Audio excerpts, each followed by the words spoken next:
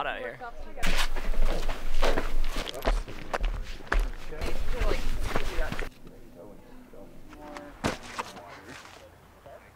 Zion National Park. It's freaking cool.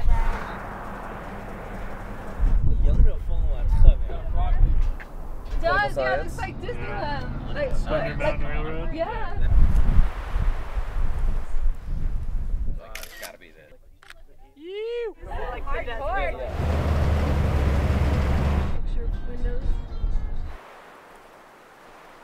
I just got. I was a home ball.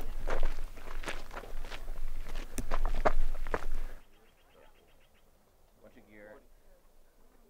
I think it should just be Different seat. Oh, What's up, mom? The flash. Jack on the cliff.